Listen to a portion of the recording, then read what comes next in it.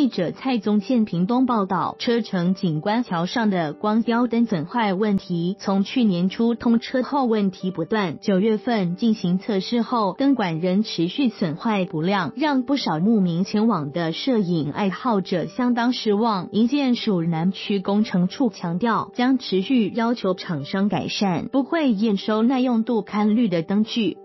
测试的器材景观灯曾吸引不少摄影爱好者取景，但灯具良好三坏的三流品质，当地摄影师老许等人痛批横穿半岛公共建设仿佛无政府，该亮的不亮，该盖的不盖，难怪人口不断外流，连观光客都不想来。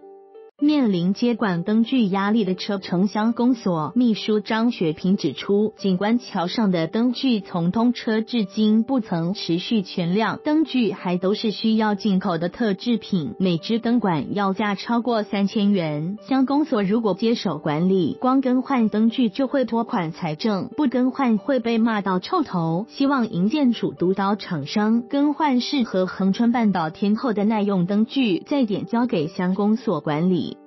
营建署南区工程处表示，经过近两个月测试，确实有部分灯具损坏不亮，或是因为角度看不到灯光，比率约在一成上下。这组景观灯设计者不了解恒春半岛的落山风及海盐，当初未考虑特殊天候因素，在设计上确实有瑕疵。目前厂商购买许多灯管备品，待十二月保固期满会刊后，会将备品交由将公所。更换使用，至于更换其他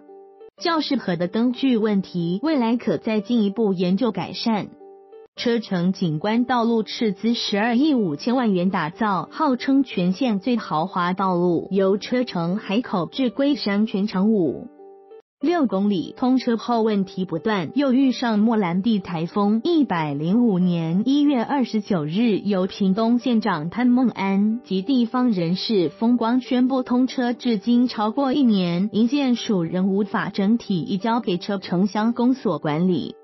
跨越四重溪和保利溪的龟山及福安两座景观桥，号称创造夜间特色的一千六百余只光雕景观灯管，一直处于损坏维修状态。仅在一百零三年及今年九月至今测试，